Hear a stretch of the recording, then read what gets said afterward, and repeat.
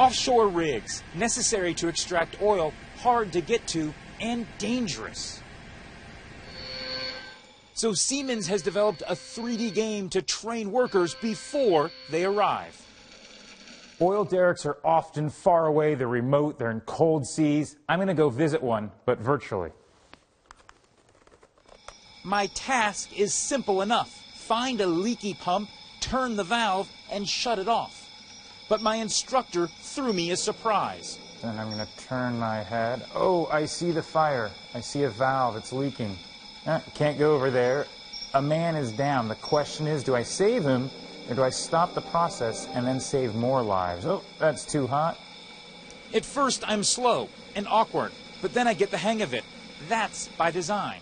Yeah, it's uh, actually made uh, with the idea to be a game-like, so the users don't have to be the experts in some 3D application. They can use it uh, as a just a simple game. Product offerings like this one called Comos are an example of Siemens, Europe's largest engineering company, trying to go digital.